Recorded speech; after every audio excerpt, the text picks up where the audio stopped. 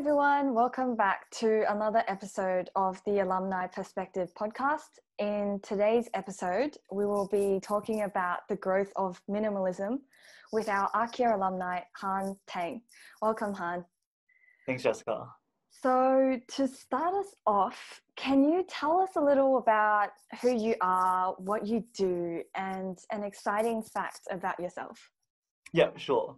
So my name's Han, and I graduated from the University of Queensland last year with a Bachelor of Advanced Finance and Economics. So currently, right now, I'm a risk consultant um, with EY in the Brisbane office, which has been super fun, and I've been able to work on a whole bunch of different engagements with clients from different industries. I guess something like a fun fact or something that was really cool that I was able to, to that was related to work was that EY actually sent me to America um, to Disney World for this one week conference, and everything was paid for, which was really sweet, which I really loved. So yeah. Damn, that sounds very that sounds very fun and exciting. it was. so in today's conversation, we will delve into the topic of minimalism, a concept which has taken Australia and China by storm. Can you share with us what minimalism is and why has it become so popular in today's society? Yeah. So I guess minimalism means different things to different people. But for me, what minimal, minimalism means to me is being able to live a more intentional life, whether that's with your decisions or your actions or your purchasing habits. And I think the reason why it's becoming such a big thing, especially in today's society, is that we're constantly being bombarded with all these advertising and marketing to buy consumer products and making sure you're keeping up with the latest trends. And I think to an extent that can be quite tiring, um, both mentally and physically. And I think there's been a bigger push towards being able to live a more simple life and being able to express gratitude with the things that we already have and being able to appreciate the people that uh, in our lives. And minimalism is just one of the ways that is you, that you're able to achieve that. So I think that's also one of the reasons why um, it's become quite big recently. Yeah, that that definitely makes sense. Um, so before I have heard of minimalism being very prevalent in the space of fashion and interior design, are there any aspects where this concept can be applied? Yeah, for sure and I think, yeah, when people think about minimalism, I think a lot of people immediately think of like this really hippie sort of concept where I'm only going to have one shirt and one bowl, one, like one pair of cutlery.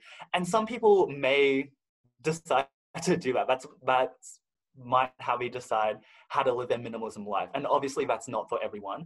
But yes, apart from things like your clothing or like the physical items that you that you own, minimalism can be applied to like various aspects of your life. And I think the one that I sort of inter- interpret the most is how I spend my time. So making sure that I'm spending my time how I want to and making sure that the decisions I make with what I decide to do with my time add value to my life and it's something that I genuinely enjoy.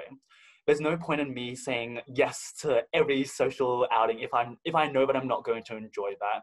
And although, yes, minimalism, a big part of it is about the physical items that you own, there is also that sort of flow and effect where it does also impact your mental abilities and the way you think and your perspectives as well. So I guess minimalism can start out from that physical aspect sort of thing, but it flows onto many different aspects of your life as well. Yeah. So continuing on from that, how do you think minimalism has impacted you as an individual? Yeah. So I know initially when I was younger, just like a lot of other people, they'd be trying to find like the latest fashion trends or what's trending and they really wanted to own the new iPhone or the new XYZ or whatever it was. Um, and I definitely was like that in the past. But I've, what I've found is that there's been this gradual, um, I guess, change in mindset towards how I approach buying items and physical uh, physical products. And I think that's really helped me a lot in terms in, in a whole bunch of different ways. One of which includes being able to spend less money and actually saving a lot more money. Like having that extra money in the bank account, not having to impulse buy every time I go window shopping and things like that, because I'm very intentional with the way I try to purchase my items. That, that's definitely impacted um, my life. Another way is that, and as bizarre as it sounds, and I know this definitely sounded bizarre when I first heard it, was the concept of having less physical clutter translates to having less mental clutter. And I didn't seem to comprehend, how that worked. How could having less items physically in your space, how could that result and lead to mm, like mental clarity? And so I remember experiment one day and get got rid of a lot of things in my room, including this really big shelf on my desk with all these little like decorations and memorabilia. And although I didn't immediately feel the impacts of that, what I noticed was about a week or two later, there was this moment where it just clicked where I was very in tune with my thoughts. I could think a lot more clearly than I could before, and I could concentrate a lot better. There, that's really translated to better focus at in work and with friendships and with relationships. And I think having the having fewer physical items in my physical space meant that my eyes weren't being distracted. And so that meant that because I could think more clearly, I could really dedicate the time to do what I really wanted to do, um, whether that's trying to imp- like upskill in like if I wanted to learn a new language or if I wanted to learn a new skill, I was able to eh, better concentrate on doing that because of the concept of minimalism because I had less stuff in my life and I had that increased mental clarity when it came to things like learning.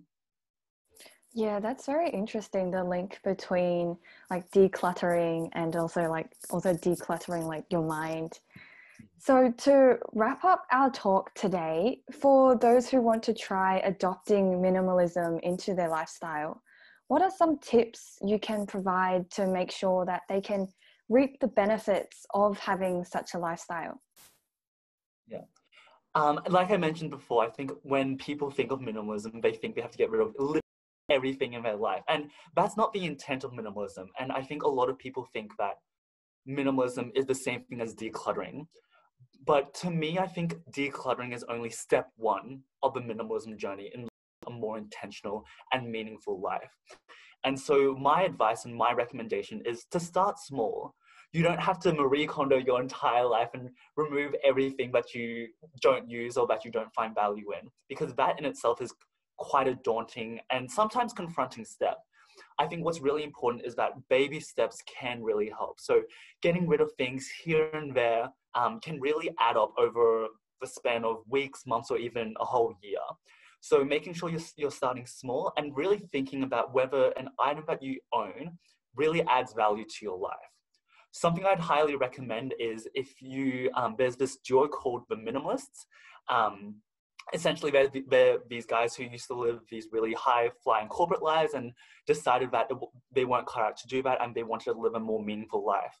But they have something called the minimalism game, which is on the first of every month, um, you on the first day of the month you get rid of one item, and then on the second day you get rid of two items, and so on and so forth until you reach the last day of the month. So let's say um, in October, um, there's 31 days in October. So on the 31st day, you would have removed 31 items on that day. And so you're gradually building up the amount of things you get rid of. So that there's that snowball effect. You um as long as you can start small and have that momentum to keep going that's a great way to start your minimalism journey and hopefully being able to reap the benefits of minimalism just like i have. Thank you. So Han, it's been so great to have you here today to talk about the topic of the growth of minimalism a huge thank you for taking time out of your day to chat with us. And I hope our listeners have learnt a little more about the concept of minimalism because I, I know I definitely have. Uh, thanks for tuning in, guys. See you in the next episode.